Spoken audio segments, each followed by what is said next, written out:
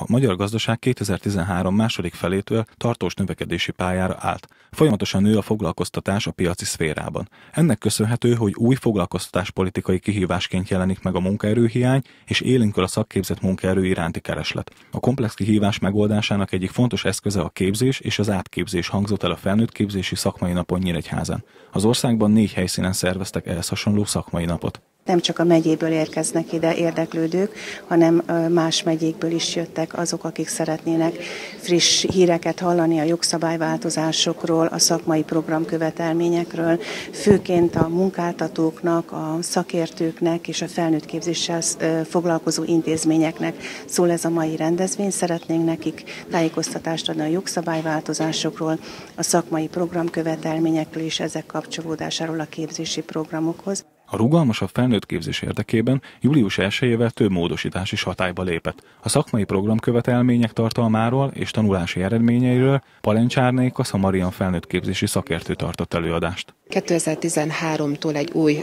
felnőttképzési törvény lépett életbe, és ez alkotta meg a szakmai programkövetelmények fogalmát.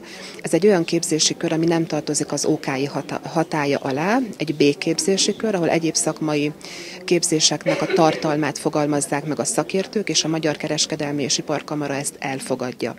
Ennek van egy speciális módszertana, tanulási eredményekben kell megfogalmazni a tartalmát, a szabályozási rendszer igen bonyolult és szerteágazó, ezért a képzőintézmények leghatékonyabban egyedileg tudnak segíteni a lehetőségek feltérképezésében és az elvárásokhoz való alkalmazkodásban.